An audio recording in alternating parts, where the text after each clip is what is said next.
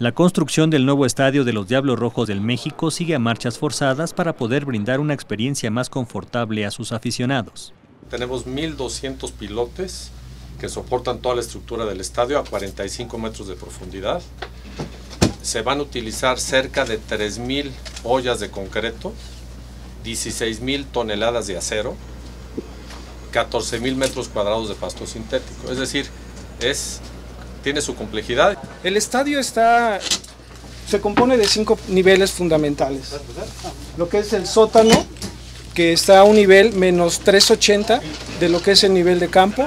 En el siguiente nivel, donde vamos a tener la casa club de Diablos, vamos a tener estacionamientos VIP.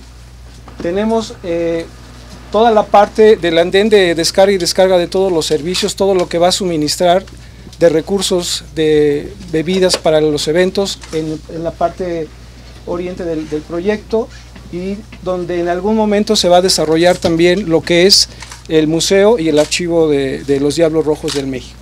Vamos a tener un auditorio, vamos a tener la parte de donde va a estar Diablos, va a tener evidentemente su vestidor, el vestidor va a tener las oficinas que son del manager, van a tener la oficina pues también de los coaches, va a tener su área de fisioterapia, va a tener su jaula de bateo, o sea, va a tener todo lo que tiene un estadio de grandes ligas. Con un 60% de avance, espera aumentar su capacidad hasta 16.000 aficionados y contará también con una pantalla gigante, palcos exclusivos para prensa, invitados y familiares, así como diferentes tiendas y áreas de descanso. Con información de Eric Gómez e imágenes de Pedro Rodríguez, Notimex.